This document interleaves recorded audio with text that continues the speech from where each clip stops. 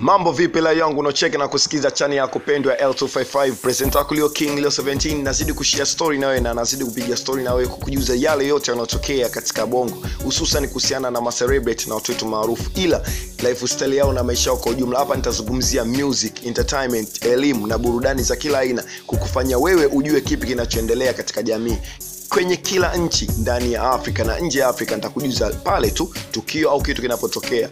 Sasa unaweza kupata stori zangu au habari zangu kupitia kifaa chako unachotumia. Ukiwa unatumia smartphone yako ukiwa unatumia tablet yako laptop ya kawaida bila kusahau desktop unaweza kupata info hizi live moja kwa moja. Tunaenda youtube andika l255 kisha chane itafunguka na baada ya chane kufunguka nenda sehemu pameandikwa subscribe bonyeza hapo utakuwa na familia yangu kubwa na ya kijanja zaidi. Ila bonyeza alama ya kikengee na maanisha notification itakuwa on utakuwa kwanza tu kupata habari pale inapopost na kukujuza. Mwenyeji wako leo king leo 17 wacha nikusanulie hii baada ya kutokea maneno mengi na baada ya kupitia maisha mengi na baada ya kupitia vitu vingi sana hapa naizungumzia klabu ya soka yanga imepita katika kipindi cha mpito ambacho wenyewe wanakijua mashabiki yao na wapo bege kwa bege na timu yao. Maneno yamekuwa mengi hususan kwa majirani zao nazungumzia simba wamekuwa wakiwacheka yanga usajili wa kimya kimya wamemsajili ngasa hakuna chochote wachezaji wanaondoka kuhusiana na hela na mambo yamekuwa mengi tofauti. Lakini tukumbuke yanga ina watu wake na yanga ina wachezaji wake.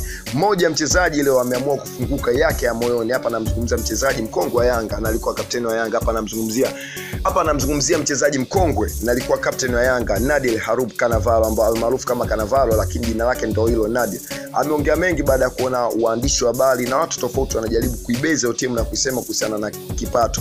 Yeye kama yeye aliamua kufunguka na kuongea ukweli leo. Siwezi na mnukuu alichoongea kanavalo siwezi kuiacha yanga kuichezea yanga kwa sababu ya kuwepo hali ngumu ya fedha. Hayo ni maneno yake yalikuwa machache tu kusema kwamba yeye binafsi hawezi kutoka au kuacha kuichezea yanga kwa sababu tu ya hali ngumu ya kifedha. Yeye yupo yanga na mchezaji yanga na atacheza yanga. Kwa hiyo hayo maneno yanaendelea kwamba watu wanakimbia kwa sababu ya pesa watu wanafanya nini? Hakutaka kuongea chochote. Hii kuja ni baada ya kuulizwa anachukuliaje hali ndani ya yanga.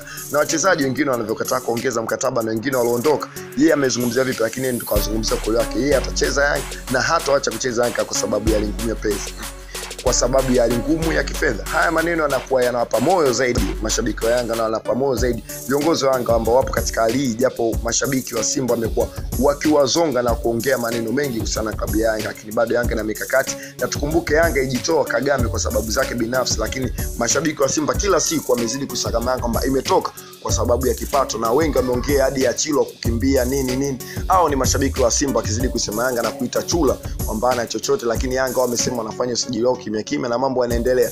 Kanavalo amemaliza hawezi kutoka na wengine wengi watasema kulikuwa na mimi mwenyeji wako present wako leo king leo 17 nimekujuza hii story hii kuhusiana na kanavalo kubaki yanga kwa hali yoyote. Shia na wajanja wengine comment watakuwa au sio